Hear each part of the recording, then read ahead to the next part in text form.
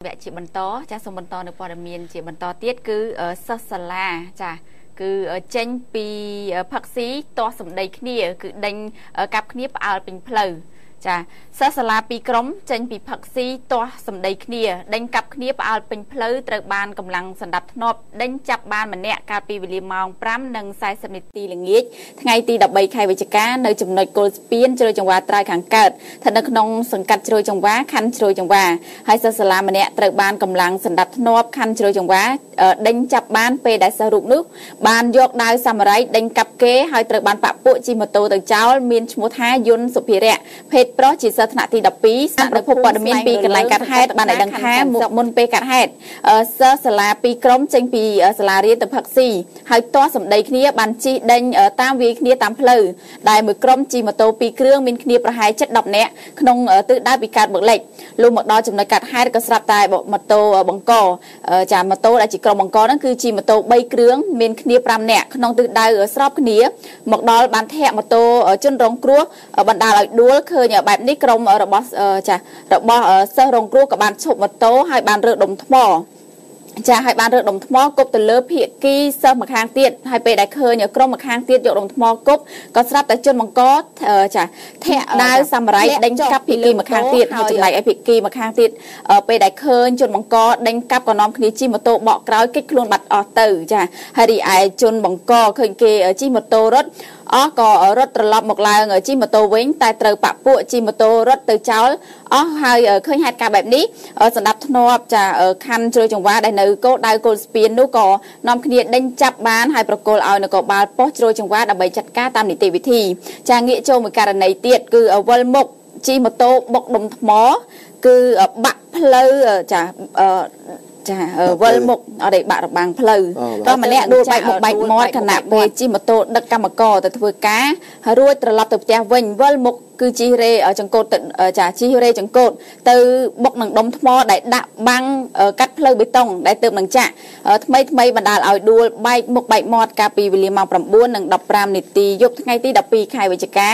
តាមផ្លូវបេតុងភូមិមួសង្កាត់ដង្កោខណ្ឌដង្កោហើយតាមប្រភពព័ត៌មានពីជនរងគ្រោះមានឈ្មោះថាកែវប៊ុនឆៃភេទប្រុសអាយុ43ឆ្នាំមុខរបររត់ម៉ូតូដុកស្នាក់នៅភូមិទួលពងរសង្កាត់ព្រៃសរខណ្ឌដង្កោខេត្តព្រៃវែងហើយបានឲ្យដឹងថាមុនពេលកាត់ហេតុគាត់បានជិះម៉ូតូ Honda Dream ពណ៌ខ្មៅស៊េរីឆ្នាំ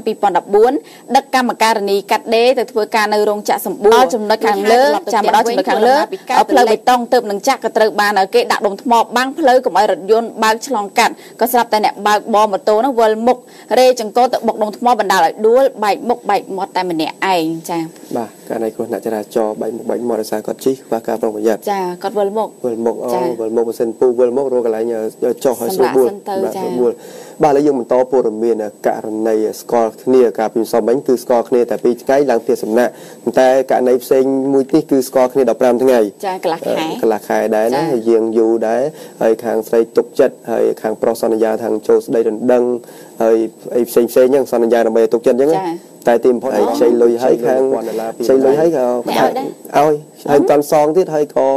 អឺសន្យាថាទិញម៉ូតូឲ្យបងប្រុសមិនតែតឲ្យម្ដាយផ្ញើលុយមកឲ្យរកការងារ1900ដុល្លារផ្សេងទៀតអូគាត់បោកទាំងអស់តែម្ដងណា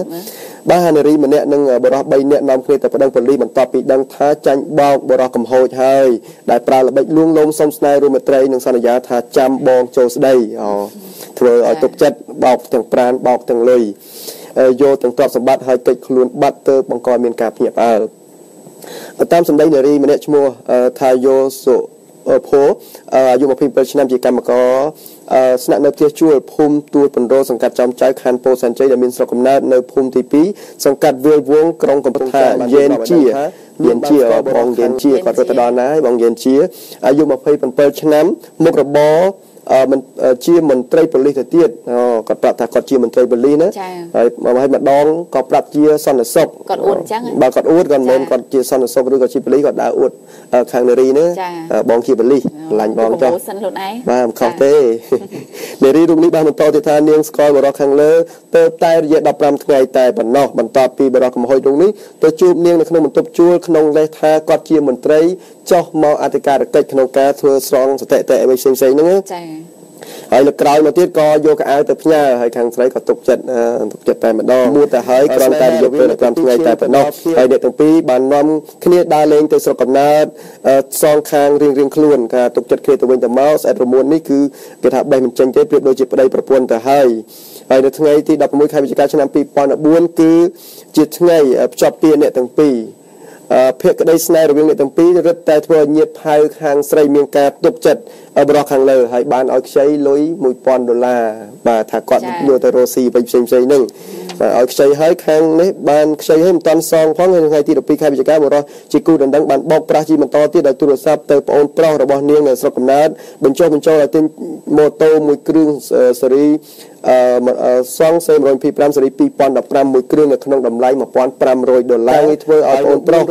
របស់នាងផ្ញើលុយ1900ដុល្លារមកឲ្យដោយបំណងហើយបរិះរូបនោះក៏បានយកម៉ូតូសងសេរីសេ125ពណ៌ខ្មៅ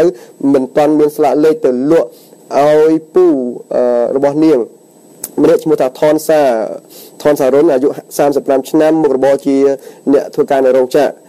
ហើយនៅថ្ងៃបន្តបន្តទៀតនៅថ្ងៃទី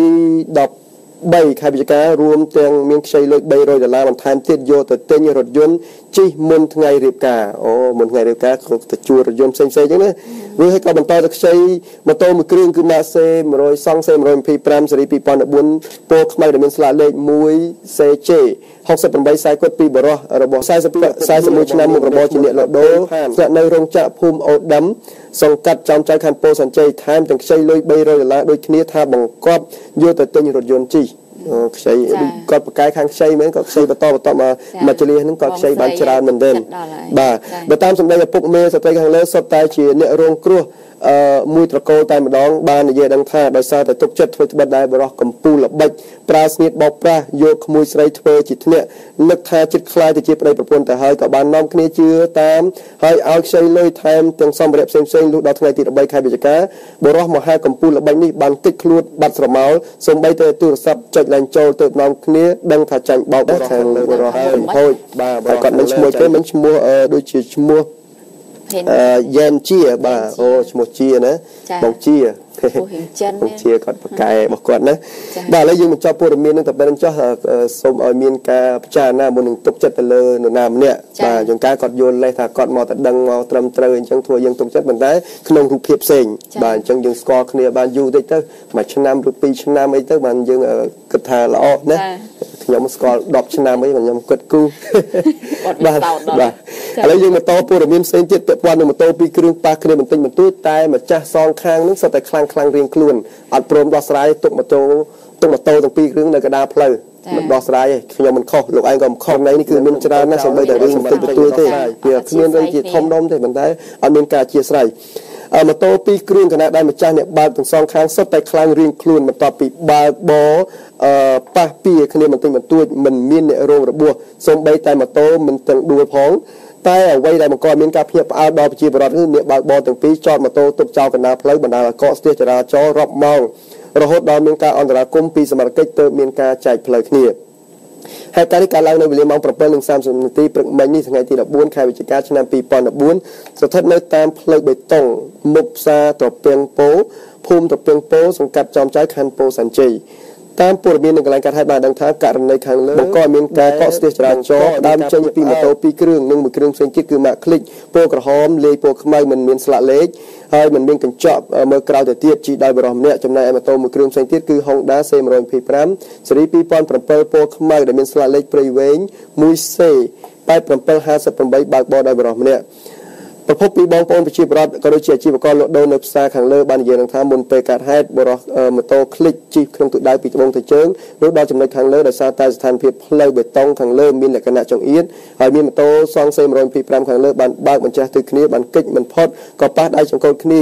តែមិនបង្កឲ្យអ្នកណាម្នាក់រងរបួសនោះទេតែដោយសារតែអ្នកបើកបរម៉ូតូសុទ្ធតែចិត្តខ្លាំងរៀងរៀងខ្លួនហើយមិនព្រមមានការអធិស្ឋានគ្នាទេហើយក៏មិនដោះស្រាយដែរទុកម៉ូតូនៅកណ្ដាលផ្លូវទុកឲ្យសមត្ថកិច្ចចាំមកដោះស្រាយតែពេលសមត្ថ ថក៏ទៅតែនៅវិជាពេលហ្នឹងបាទទីសូមបាទនេះគឺមានមួយដែលជាសារទៅដល់អ្នកដែលមានករណីគ្រោះថ្នាក់ចរាចរណ៍បើបន្តិចបន្តួចយើងនិយាយគ្នាទៅយើងសិតតែជាខ្មែរដូចគ្នាយើងនិយាយស្ដាប់គ្នាបានតើបងអធិស្ឋានខ្ញុំអញ្ចឹងទៅបងអូនអធិស្ឋានឲ្យបងអញ្ចឹងទៅអញ្ចឹងយើងរួចបាត់ហើយសំរុំឲ្យគ្នាទៅវិញទៅមកទៅយើងរួចខ្លួនបាត់ហើយយើងមិនមានបញ្ហាអីហើយមិនរវល់ទៅដល់សមត្ថកិច្ចទៅទៀតបាទហើយយើងបញ្ចប់ព័ត៌មាននឹងតែប៉ុណ្្នឹងចុះហើយយើងខ្ញុំទាំងពីរនាក់សូមសម្រាប់វិទ្យាសិនយើងនឹងបន្តព័ត៌មានផ្សេងទៀតនៅវគ្គក្រោយបាទ